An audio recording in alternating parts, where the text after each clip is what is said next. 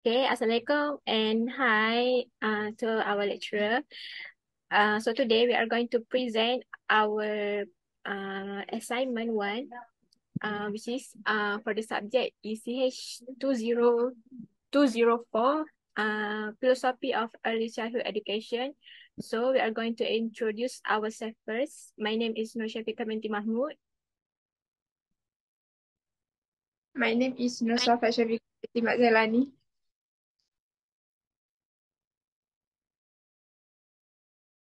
My name is Nur Syafiqah Arisha binti Sabri. My name is Nia Jamil So,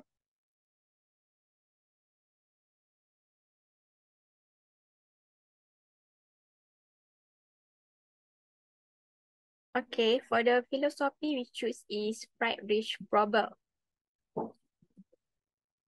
So,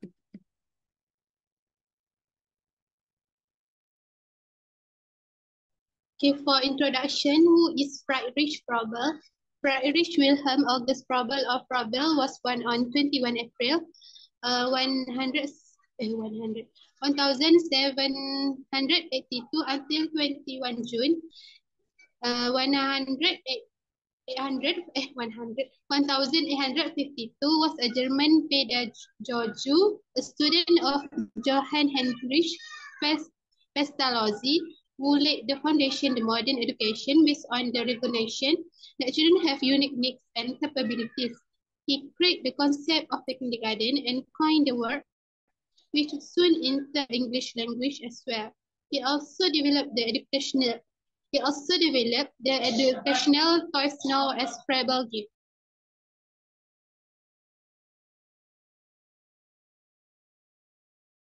Okay, for the next is education background.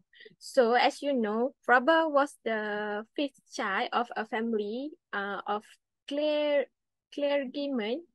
Uh, when he was nine months old, um, his mother passed away, leaving him neglect until an uncle gave him a house and sent him to school. Okay, Froebel began his study of mathematics and language while also acquiring a broad uh, knowledge of plants and natural occurrences. He served as an apprentice to a forester before enrolling in some informal university classes at Jena before being imprisoned, imprisoned for an unpaid debt. Next is Froebel enrolled at the University of Göttingen in 18, 18, 1811, but soon had to put his study on hold due to his military service during the Nap Napoleonic Wars. Next is Froebel implement his pedagogical technique in Caribou, also in Thuringia, where the school relocated two years later. The school grew into a thriving institution as he and his buddies and their wives formed as a sort of educated community. Um, Froebel published his most significant work, Menschliches Hangs, the education, which is the education of men, a philosophical explanation of the value and practices pursued at Keilhau in 1826 after having written a number of essays during this time. And the last, sorry, and this and the lastly is Froebel create toys such as circles, spares, and other subject that he refers to as gift or occupation in order to encourage learning through play activity that were accompanied with by lyrics and music. Now, uh, next I will pass to the next presenter. Okay, next is contribution on psychology. Froebel invade to modern concept to kindergarten by creating a classroom that combine play with learning.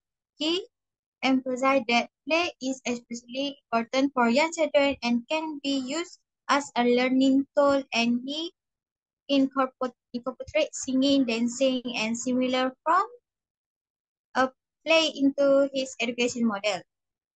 Contemporary kindergarten are the direct product of Froebel education theories. Froebel student Margarethe Schurz in Wisconsin, following the example of school, the first English-speaking kindergarten um, opened in 1890, 1890 in Boston. The popularity of kindergarten rapidly. So next,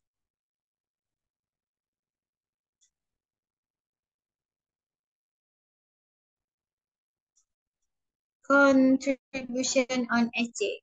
His goal we his goal were to teach children how to learn, observe, reason, express, and create through play, employing psychopaths of unity and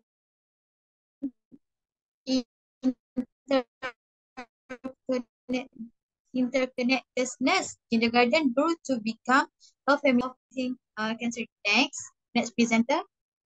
Uh, Froebel thought that play is the primary way for young children to learn.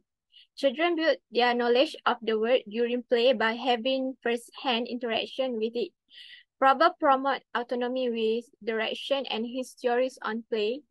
Learning from nature and the value of education are widely recognized today. Okay, for and, the last is with the broad erosion of young children's freedom. Froebel teaches many parents, career, and professionals are looking to his concept to guide their practice and respond to young children, since his ideas on nature, unity, connectivity, and risk-taking seem more relevant than ever.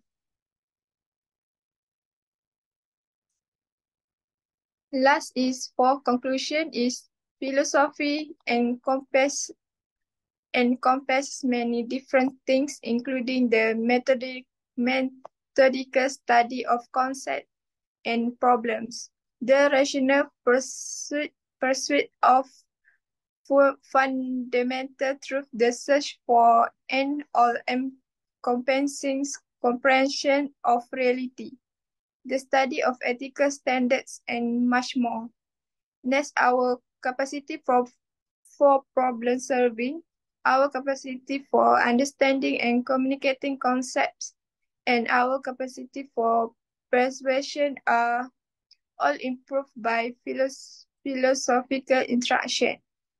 Last, the study of philosophy make immeasurable contribution in this and other ways to academic and extracurricular endeavors. That's all. Okay, that's all for uh, from us. Thank you. Thank you.